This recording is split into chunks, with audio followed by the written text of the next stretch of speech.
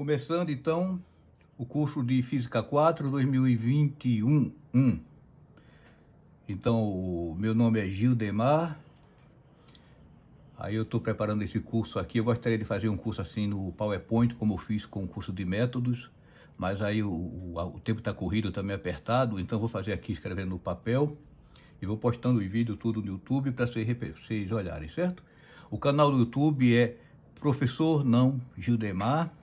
E também tem o blog, Professor Não Gildemar, onde eu deixo anotado lá no blog todas as informações, a data das provas, etc. Então, o esquema é assim, são três provas, é, tudo aqui distante, né? São quantas aulas? Se são 30 aulas, seria 10 aulas uma prova, 10 aulas uma prova, etc. Eu não, não mudo a data da prova.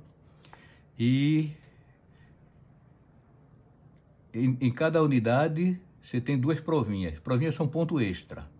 Então, se você, você tira 10, você não recebe as notas da, da provinha, porque são as provinhas daquela unidade, só é só referente à unidade. Então, cada provinha vale 1. Um. Então, você tem um total de 6 pontos extra. Então, se você tirar nota média, você já tem três pontos extra que já ajuda muito.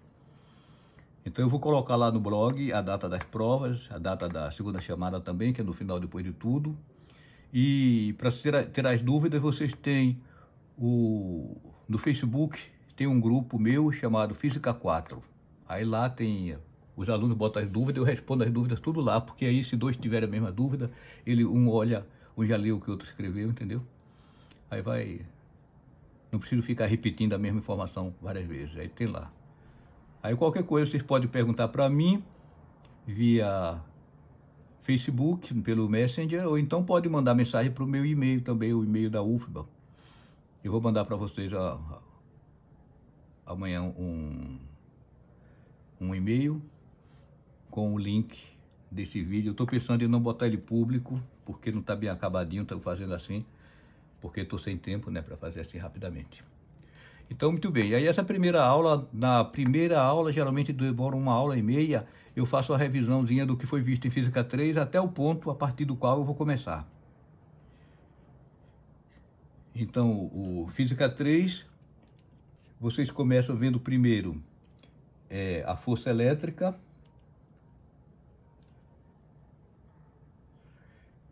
vocês veem, por exemplo, se quando está um tempo seco, se você esfrega a caneta no cabelo e depois aproxima do pedacinho de papel, ele atrai o papel. Então, que força é essa que atrai? Quer dizer, o cidadão comum olha e acha isso uma coisa muito normal, quer dizer, não vê nada demais. Mas o cientista não, ele olha aquilo e quer saber, pô, mas como é que é aquela força? O que é que está atraindo o papelzinho para a tampa da caneta, por exemplo, né? Então, pesquisando isso, se chegou que a força, para o caso de cargas pontuais, ou seja, quando a carga é praticamente um ponto, então a força é dada pela essa fórmula aqui, 1 sobre 4π ε0, vezes uma carga, vezes a outra carga, dividido pela distância ao quadrado, isso na direção radial. Esse chapeuzinho aqui circunflexo é um vetor, é um vetor, né? É um vetor unitário, então está tá dizendo que é na direção do, do raio. Então, se você tem uma carga positiva, um Q1 aqui e um Q2 aqui, então a distância aqui entre as cargas é R. Então, se as duas são positivas, a força é positiva. Então, a direção é radial, tá vendo a direção do raio? Então, se você botar aqui o centro, então a força vai estar para cá, nessa daqui, a força para cá. Então, é repulsiva. Tem forças, né? Repulsiva. Se for uma carga negativa e outra negativa. Então, da mesma forma, negativo menos com menos dá mais, a força vai ser positiva apontando para longe do, do centro, né, do raio. Né? E se for uma carga positiva e uma negativa, mais com menos, mais vezes menos dá menos, vai ser a força negativa. Então, a força vai ser apontando para dentro, né? Então, a força atrativa. Quer dizer, as cargas... O fundamental do eletromagnetismo é isso, né? Que cargas iguais se repelem e cargas opostas se atraem, a atração dos opostos. Então a força é dessa forma aqui. Isso aqui geralmente se representa com um K, né? 1 sobre 4 π epsilon 0, mas eu vou querer que vocês saibam que o K é 1 sobre 4 π epsilon 0. Então essa é a carga, é o primeiro, sim. Como é que foi feito isso aqui? Coulomb, que é francês, pronuncia Coulomb. ele mediu essa força com uma balança de torção, interessante vou falar aqui, é mais assunto física 3. Balança de torção, assim, você bota uma barra aqui e, e prende na barra um, um, espelho. Aí aqui embaixo você bota para ficar a carga aqui e aqui um contrapeso, né? Para a barra ficar equilibrada. Aí você aproxima outra carga aqui. Então você sabe a distância que se aproxima uma da outra, a força é pequena, mas aí quando se aproxima, essa daqui repele, né? Então ela vira para cá, quando ela vira o, o eixo aqui que está pendurado esse fio, gira. Então aí você bota uma luz para incidir aqui no espelho. Aí quando o espelho dá uma giradinha, a luz, o reflexo, né? Muda de direção. Então, quer dizer, apesar de ser uma mudança muito pequenininha, quer dizer, mesmo que a força seja pequena, você consegue medir. Então aí Coulomb usou uma balança de torção dessa para medir a força elétrica e viu que ia depender dessa forma. E aí, mais tarde, Cavendish também usou uma, uma balança dessa para descobrir, para medir a força gravitacional. Aí a gente diz que foi ele que mediu, que pesou a Terra, porque ele medindo a força gravitacional, aí daí ele achou qual era a massa da Terra. Mas tudo bem, não vou entrar em detalhe não. Aqui o segundo capítulo, a gente estuda o campo elétrico. Campo elétrico foi uma abstração que Faraday pensou Faraday é interessante que ele não fez faculdade, né? Então ele tinha um pensamento assim mais original. Então ele imaginou, quer dizer, se, vo, se você tem uma carga aqui, se você aproximar uma carga positiva, ela vai sempre fugir dessa carga, certo? Então existe já assim um, um campo que determina mais ou menos como é que vai ser o comportamento de outras cargas em torno dessa aqui. Então o campo elétrico é como se fosse assim, como se fosse a aura da carga. Né? Por exemplo, se se trata uma sala de aula sem professor nenhum, então os alunos ficam tudo conversando com o outro, aquela bagunça, aquele caos. Aí se entra o professor, o professor tem aquele campo, né? Que aí ele, a presença dele faz com que os alunos fiquem em silêncio, prestando atenção para o que ele está falando, certo? Então cada pessoa tem o seu campo. Se você está conversando com o Papa ou se você está conversando com o presidente do Brasil, você, o campo é diferente, né? O seu comportamento, as suas emoções são outras. Então, da mesma forma, você tem o campo elétrico fica sendo a força dividido por carga. Aí representa o campo elétrico com a letra E, é a força dividido pela carga. Quer dizer, a carga que você botaria aqui. Então, com, porque é, a força depende da carga, mas se eu dividir pela carga, a dependência vai ficar somente numa, da carga que está aqui. Então, o campo elétrico de uma carga pontual, né, Aqui é carga pontual, deixa eu botar aqui.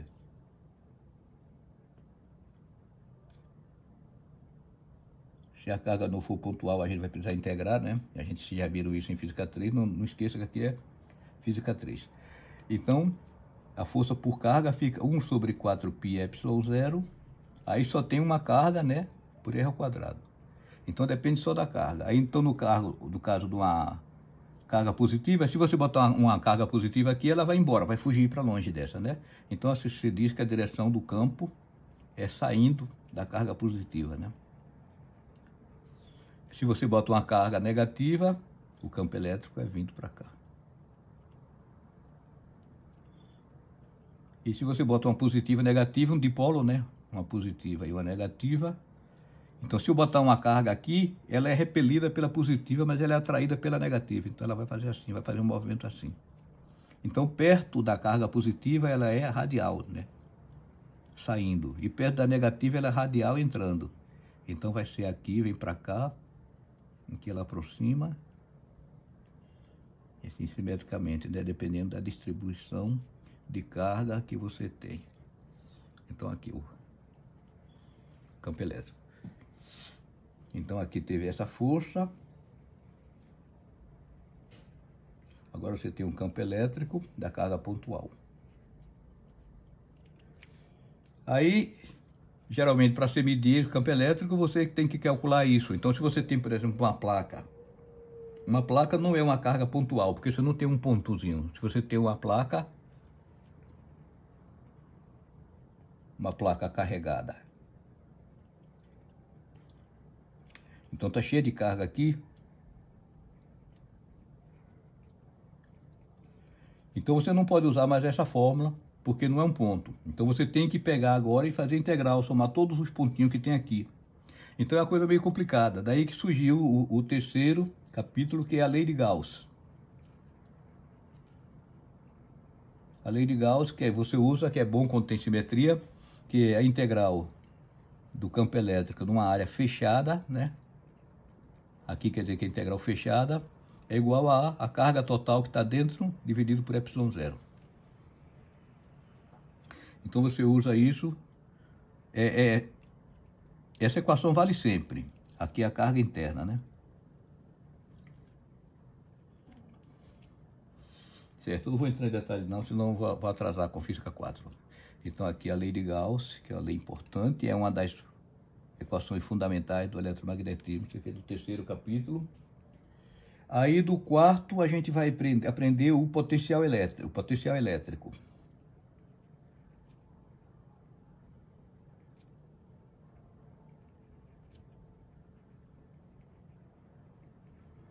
Potencial elétrico é o seguinte, para você, o objetivo final aqui que a gente quer achar é a força. Você quer achar a força, você quer saber como é que as partículas vão se mexer. Então, para achar a força, você calcula o campo elétrico, mas depois você sabe que a força vai ser a, o campo elétrico vezes a carga. A força é a carga vezes o campo elétrico. Então, você quer, você quer saber o, o campo elétrico para, no fim das contas, você achar a força. Porque o que você observa é a força, o que mexe os ponteiros dos instrumentos, tudo é a força elétrica. Então, você quer achar a força. Mas aí a força aqui, tanto o campo elétrico quanto a força, são vetores, eles têm três componentes. Então, é mais trabalhoso você calcular três do que calcular um. Então, por analogia com a mecânica, na mecânica você tem a energia potencial, né? A energia potencial, que no caso conservativo é menos a integral da força vezes a distância, deslocamento. É de A até B, seria o A menos o B. Vou botar aqui o B menos o A. Então, mecânica. Aí, quando você quer achar, se você souber o potencial e quiser achar a força, então você faz assim a força, o componente X da força é a derivada do é menos a derivada do potencial com relação a X. O componente Y da força é menos a derivada do potencial com relação a Y. E a componente Z é menos a derivada com relação a Z. Então isso aqui simplifica o trabalho da mecânica, porque o, o, potencial é escalar, você não tem que calcular três componentes, você calcula um só. Então você calcula o potencial, que é um componente só, aí depois é só derivar com relação a x, y, z, se acha os três componentes, entendeu? Então fica mais fácil. Então aí por analogia, no caso do eletromagnetismo, você define, veja bem, a o potencial, a energia potencial elétrica ficaria menos a força que é Q vezes E escalar de R, certo? Para uma carga fixa. Então você tem que a energia potencial, o potencial elétrico, por definição, é a energia potencial por carga, que é menos a integral do EDR. Certo? Então, assim, a energia potencial, o potencial elétrico é a energia potencial por carga. E o campo elétrico é a força por carga. Então seria como se dividisse aqui por carga os dois. Energia por carga dá o potencial elétrico, força por carga dá o campo elétrico, certo? Então aí fica fácil, que quando você quiser calcular o campo elétrico agora, o campo elétrico é de x, é menos a derivada do potencial com relação a x. O campo elétrico, componente y, é menos a derivada do potencial elétrico com relação a x e o EZ também, menos a derivada do potencial com relação a Z. Certo? Então, aí o potencial, como é energia por carga, o potencial é a integral do E vezes a carga, certo? Então, o potencial, do, do caso da carga pontiforme, ou pontual, né, pontiforme, o V fica sendo 1 sobre 4πε0, carga, que é o campo elétrico, né, integrado no, no R, vai ficar isso aqui, por R. Então é este aqui. E a energia é Q vezes o V, a energia fica sendo, a energia pontual é 1 sobre 4πε0, Q1, Q2 por R. Certo? Que aqui Energia é potencial vezes carga. Então veja a outra carga que você aproxima. Então você tem uma carga só, aí tem o potencial elétrico daquela carga. Então você quer saber a energia, a energia é o quê? Para você pegar uma carga e aproximar da outra. Então aí você precisa de duas cargas para ter o conceito da energia, certo? Então aqui já vimos quatro capítulos. O próximo, capacitores.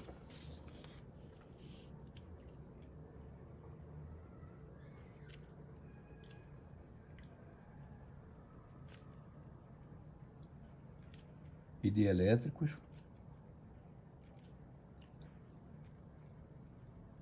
Capacitores e dielétricos. Então você tem um capacitor, é, é, um condutor, você tem dois condutores. Então aí a relação é dada o seguinte, você tem um condutor aqui, o outro condutor aqui. Aí se eu carrego esse daqui com a carga positiva e esse aqui com a carga negativa, aqui é mais Q e aqui menos Q. Então, é claro, vai ter um potencial elétrico entre eles aqui, né?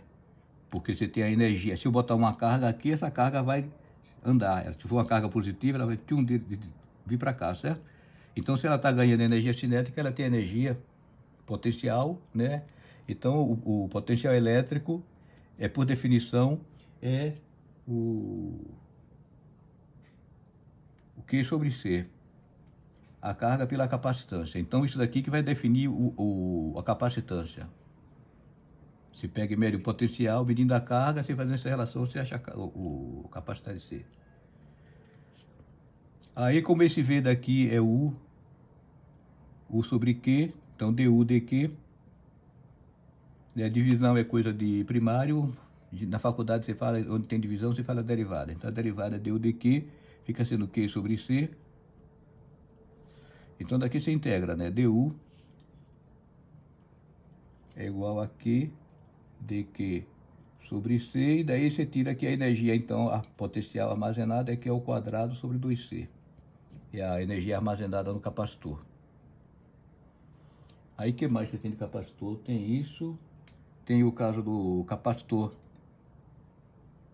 de placas paralelas,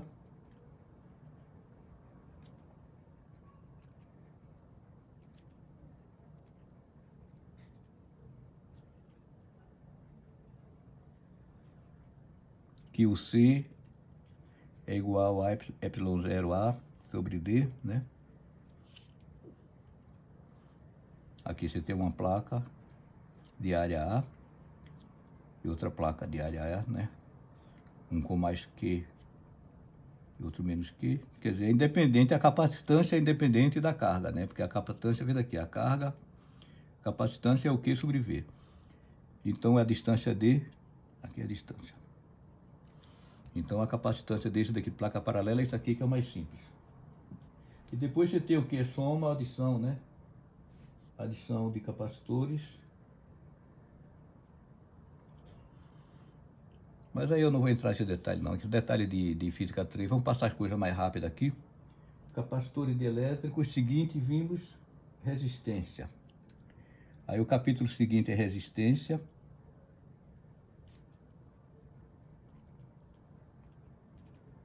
Você tem a corrente elétrica, define a corrente elétrica, que é quanto de carga passa por um tempo, né? Você tem um condutor, um fio aí no condutor está passando carga. Então, quantas cargas passam por, por segundo, isso daí define o que é uma corrente elétrica. E que então, também definido como integral de J de A, o tanto de, aqui o J, que é corrente por área, é a densidade de corrente, é um vetor, na verdade aqui tem módulo.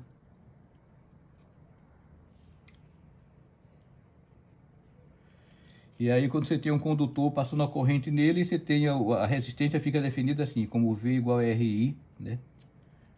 O, quanto maior a resistência, Aí para passar uma corrente alta você tem que botar uma diferença potencial muito grande. Sim, então o potencial nesse da tomada aí, potencial então é quanto é, energia por carga você está? Cadê? Energia por carga. Você diz que é 110 volts, quer dizer que para cada quilômetro que passa de um, de um um polo para o outro, tem energia de 110 joules. Então é resistência isso daqui. Aí tem é, resistência, não dá para calcular a energia, porque a resistência dissipa, você tem a potência, né? Vou fazer a conta aqui. Então o V é dq, du por dq é igual a RI. Aí complica, né? Então você vai ter que o du igual a R, o I é dq dt, aqui é o I, vezes o dq. Então como é que vai ficar o U? Não dá para achar, então o que é que você faz? Você pega e divide por dt dos dois lados, dt dt, que é a taxa, né? A taxa por tempo. Então du dt é a potência, daqui você tem que a potência dq dt é o I é igual a R ao quadrado. Então a potência dissipada pelo resistor. Além disso, você tem o resistor cilíndrico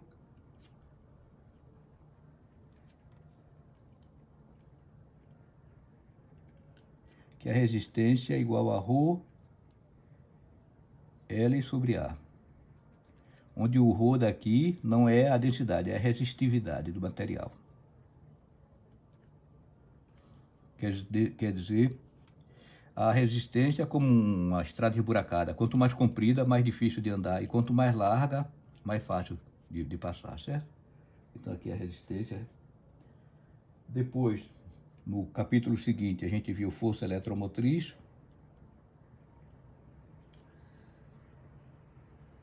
Que veio o circuito elétrico, eletromotriz. Força eletromotriz.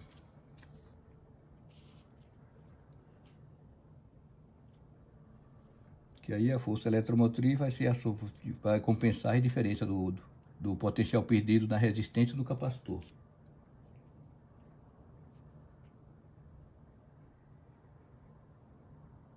Aqui no meu, meu plano de aula não tem, mas tem toda aquela parte das, das leis dos nós, lei das malhas, né? Então aqui vem circuitos.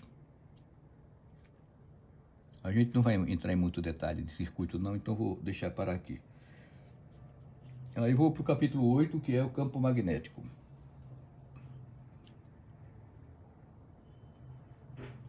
Campo magnético é que é a parte que você estuda os ímãs. Então é, é meio estranho porque quando a gente estuda o campo elétrico, você estuda a, a, força elétrica, a atração entre cargas. Então seria de esperar que o campo magnético você estudasse a atração entre ímãs. Mas não, já começa, a gente já começa dizendo que a força magnética é Q V vetorial B, né? É, que, é, que aqui é a força de quando você tem um campo magnético, um campo magnético, por exemplo, B, suponha que ele seja para cima. Aí você tem uma carguinha que é positiva, se for negativa vai dar na direção oposta, né? Que está andando com a velocidade V aqui, passando por esse campo. Então ela vai sentir uma força nessa direção, vai sofrer uma força nessa direção. Então a força é o V vetorial B. Produto vetorial é melhor você fazer o seguinte. Você pega, aqui é o V vetorial B. Então se você pegar a mão direita, empurrar o V na direção do B, o polegar aponta para direção pra, na direção do produto vetorial, que é a força. Então a força é para cá, certo? Então se o B está para cá e a velocidade está passando aqui, então a força vai ser para cá. Então se você tem um, uma carga andando para cá com a força perpendicular a ela, essa força, a força perpendicular é a força centrípeta, né? Então ela vai fazer o que? A carga vai rodar, vai ficar rodando, certo? Então a força magnética ela fica assim, ela tende a fazer as cargas girarem.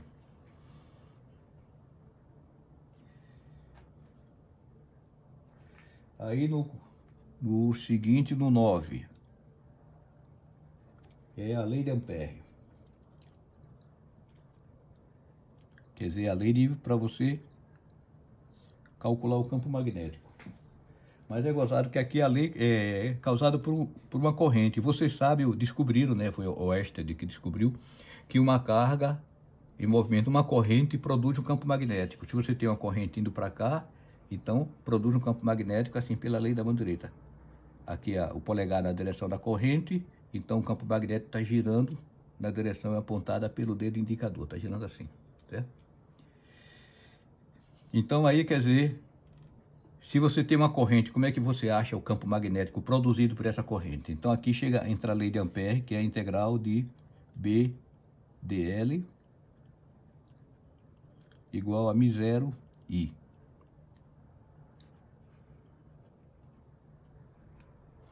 Certo? Quer dizer, você tem um fio, está passando a corrente I aqui, então vai produzir um campo magnético girando assim.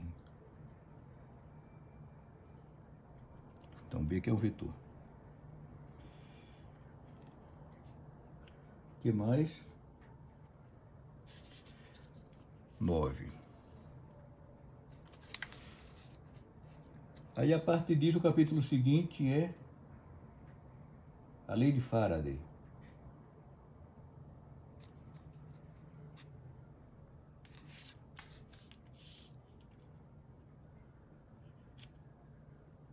Lei da indução de Faraday. Aí Faraday pensou assim: se uma carga em movimento produz um campo magnético, será que um ímã em movimento não produziria um campo elétrico? Aí ele pegou e experimentou isso. Pegou, chegou perto de uma espira e botava o imã. Chegava o imã assim, botava perto de uma espira para ver se aparecia corrente. Então, quando ele chegava aqui, não tinha corrente nenhuma. Mas ele notou que quando ele aproximava, aparecia uma corrente. E quando ele tirava, a corrente girava na direção contrária. A corrente era contrária. Então, ele descobriu isso. E daí ele descobriu, então, que o campo magnético variando no tempo provocava um campo elétrico, que é o integral de BDL de E. Integral de EDL, que é o campo elétrico girando que é produzido, né? É igual a menos DDT integral de BDA. Então note que aqui é uma integral fechada, aqui é uma integral aberta. Porque você está assim, você tem uma espira elétrica, um material condutor aqui. Na verdade, na experiência dele, ele botava aqui ligado num, num amperímetro, que é o que? Você pega e enrola, aspira aqui e bota uma agulhinha. Aí quando a corrente passa aqui, produz um campo magnético que desvia a agulha e você sabe se está passando corrente ou não. Aí eles pegam o ímã e bota aqui. Aqui é o norte, aqui é o sul do ímã. Então ele aproxima. Quando ele aproxima, o ímã passando aqui, campo magnético, então vai variar. O campo, aqui, então, o, o L aqui é o E que vai se produzir aqui ao longo desse L. Aqui é o campo elétrico ao longo do DL. DL é essa aqui. E a área é essa área. A área é qualquer área delimitada por esse circuito fechado, certo? Então, aqui no caso, a gente está pegando essa área daqui, mas pode ser uma área aqui assim também, tanto faz. Então, isso daqui vale sempre. Então, como o campo magnético que está passando, atravessando essa área aqui, varia com o tempo, então produz um campo elétrico, uma corrente, que é o princípio da hidrelétrica. Na hidrelétrica você faz assim, você bota, vou botar aqui, talvez vocês não tenham visto isso, na hidrelétrica, você tem a água lá da represa caindo, né? Aí cai assim num, umas pás assim, que é gira, né? O negócio é mais complicado, mais detalhado, mas vamos supor que seja assim, vamos facilitar, né? Só para ter uma ideia. Depois, se, se tiver um riachinho lá no fundo do, do, do sítio de vocês, vocês fazem. Aí você pega aqui e bota uma espira. E aqui um campo magnético B. Ou seja, vocês têm um ímã, né? Essa espira aqui está saindo aqui do, do, do, coisa. De forma que quando esse negócio gira, a água bate aqui e faz esse negócio girar. Quando ele gira, essa espira aqui que está ligada aqui no eixo, vai girando também, certo? Aí ela girando na presença do campo magnético vai fazendo com que o... Vamos supor que aqui está a espira, né? Então vai girando no eixo aqui. Então o campo magnético que está passando aqui, o, o fluxo está variando, porque aqui tem muito campo magnético passando pela, por dentro da espira, e aqui não tem nenhum. Então, quando ele está girando, está variando. Aí, essa variação faz com que apareça uma corrente na espira, como aparece aqui. Então é assim. Então a maioria dos geradores é tudo feito dessa forma aqui. Então essa daqui é uma equação muito importante, também é uma das equações fundamentais do eletromagnetismo.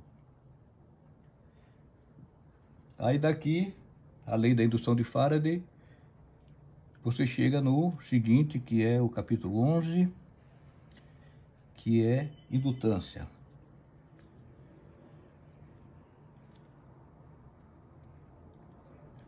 Indutância. Você tem isso daqui, então seria a diferença de potencial vai ser menos del, del T do fluxo magnético.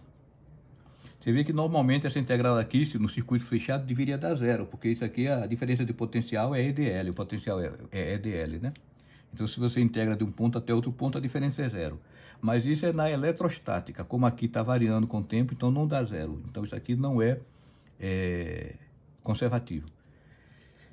Então, o, aqui o potencial ficaria isso, fica, é menos a variação do fluxo magnético. Esse de B é o fluxo magnético. Se vocês alguma vez escreverem, tem que dizer quem é quem. Que é o B passando na área, integral do B na área. Aí, se você usar a regra da cadeia, fica então que o V, eu vou botar aqui o V, tirar esse sinal aqui, vou botar positivo, né? Porque aqui o V, quer dizer, a diferença de potencial que está sendo está aparecendo. Eu quero saber a diferença potencial que vai aparecer ali, dependendo do sinal. Então, usando a regra da cadeia, se, se o fluxo variar somente com a corrente, por exemplo, você tem no circuito aqui um solenoide. Aí tem uma corrente passando aqui. Aí quando a corrente passa, aqui ela produz um campo magnético, certo? Porque toda corrente produz um campo magnético aqui. Se essa corrente estiver variando, esse campo magnético aqui vai variar. Aí esse campo magnético variando, ele produz um campo elétrico. Aí esse campo, pronto, esse, esse campo elétrico vai ter uma diferença de potencial, vai ter uma queda de potencial que é dada por isso. Então, já por isso que eu estou botando positivo, porque o V já é a queda de potencial. Então, mas aí esse B é gerado pela corrente. Ele é, o B varia porque a corrente varia. Então, usando a regra da cadeia, fica que o V é a derivada, vamos botar aqui, suponha aqui é a derivada total do tempo, porque aqui o solenoide está fixo, nada está mudando lá no circuito.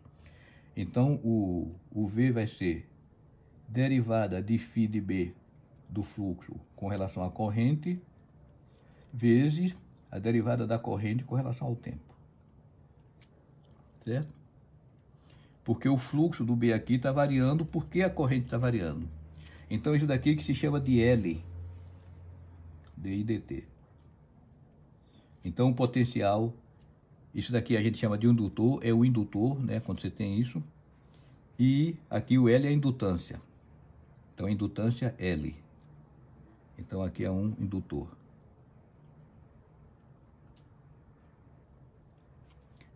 Então, o potencial, a diferença de potencial vai ser L, né, que é o valor da indutância, vezes a variação da corrente. Então, isso aqui que é a indutância.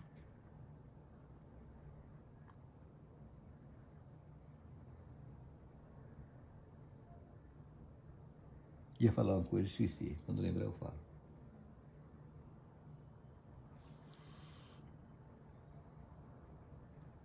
Ah, sim. Você sempre tem uma indutância no circuito. Porque, por exemplo, se você tem uma, uma bateria, tem uma pilha aqui elétrica, aí você vai ligar, se você liga uma coisa bem simples. Eu pego um fio aqui e liga os dois extremos. Então aqui, quando começa a passar a corrente aqui, aparece um campo magnético, certo? Um campo magnético para cá. Acontece que esse campo magnético está variando no tempo, porque antes de você fechar o circuito era zero, não passava corrente nenhum, não tinha campo magnético.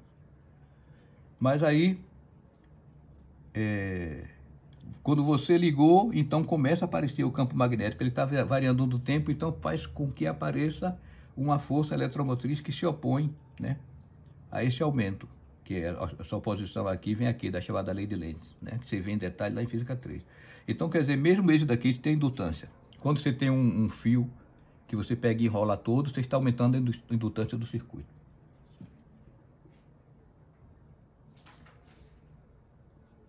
Aí tem a indutância do solenoide.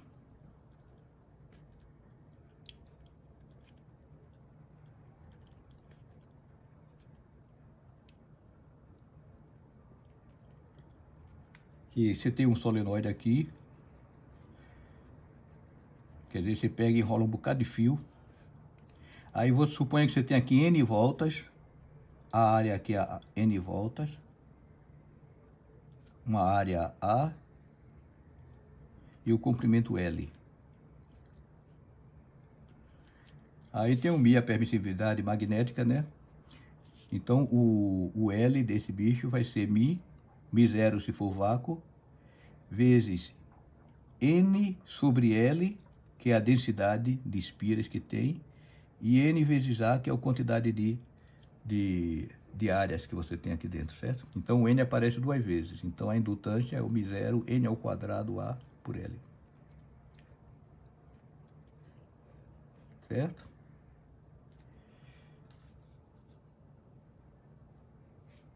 Então, basicamente é isso que se vê em Física 3, você vê em três folhas de papel aqui, resumir tudo. Aí eu vou fazer o seguinte, geralmente eu dou isso na primeira aula, quer dizer, o tempo está curto, porque numa aula os alunos fazem pergunta, então demora mais, mas agora como eu estou explicando, então vai, é, vai mais curto. Então, na quarta-feira eu já boto outro vídeo com a continuação, a gente faz o resumo de tudo isso e começa a desenvolver a parte de Física 4, certo? Então é isso aí. Estou encerrando aqui.